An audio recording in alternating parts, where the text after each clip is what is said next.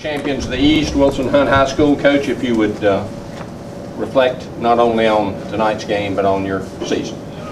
Uh, it's been um, a heck of a season for um, for us. We um, played uh, inspired ball all season. Uh, I think since the start of uh, 2014, we didn't lose a game. Kids uh, got better each week. Continue to work hard all the way up until this um, state championship game. I'm so proud of them. Um, one of the best teams uh, I've, I've ever coached, so the, and some of the best kids I ever coached. Questions for the coach? Coach, break down the last minute and a half. You guys had three turnovers right there in a row. Yeah, Last three we uh, uh, Freedom did a good job putting pressure, jump trap, and uh, Quan Kent went out, uh, primary ball handler for cramps. Um, hadn't had those all year. Um, you know, still understand it, but um, we uh, you know just didn't take care of the ball good enough, and uh, with the lead, and um, um, they took advantage of. it. Coach, you asserted yourself in an area where I thought you would be able to inside, but what problems did Freedom give, give you in the backcourt? Uh, they just had ball pressure. They, they put uh, pressure on the ball. Um, we wanted to get the ball inside. They gave us different looks uh, uh, a couple times, and um, uh, all those things, you know, kind of add up. Is that, the, is that the quickest team you played this year in terms of how they are able to pressure the ball?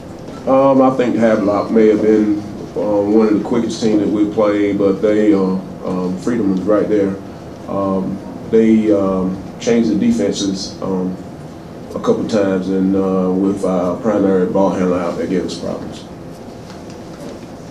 Questions for the player? Josh, you had, you had a lot of work on the baseline tonight. Um, Were they, were they kind of leaving you open to, to work the baseline or pushing you to the baseline?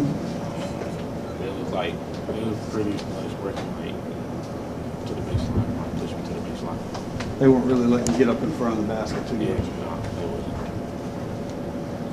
Josh, was the game plan coming in to, to get the ball inside where you and Dexter could work against a smaller Freedom lineup? Yeah, yeah. To went like in and out to give it to us, and if we ain't have it, then go back out to the guards and let us recoach. Josh, talk me through that last freedom possession. Um, what, what your memory of what happened, where you were on the court? I was just on the other side, open, and the ball came off. It went in. Uh, Coach, what were y'all trying to do with them in terms of defending the three-pointer? What was, what was your strategy? Uh, well, we was trying to locate the shooters, and we was trying to get, uh, um, uh, um, try to keep somebody on 10 and 21, uh, or near them, and defend the um, three-point shot. But um, they uh, rotated the ball around a couple times, and, and we didn't find 21. A couple times we did find him, and he made some tough shots.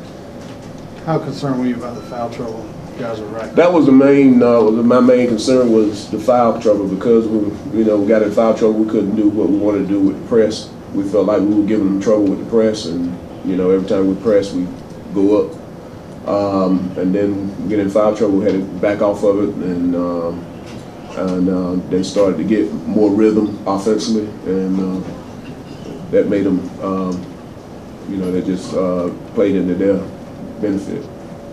Coach, you've been coaching a long time, played ball a long time at all levels.